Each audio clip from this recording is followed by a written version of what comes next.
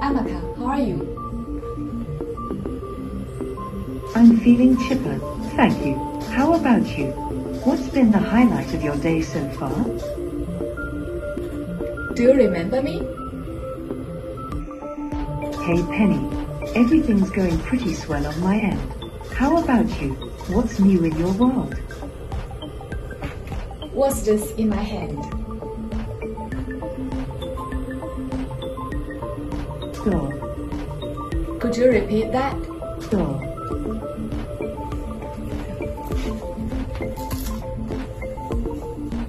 What am I doing?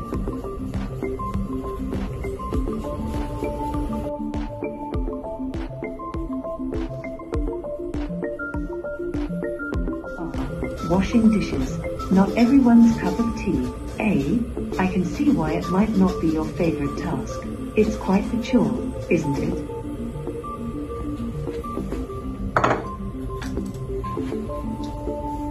And now what am I doing?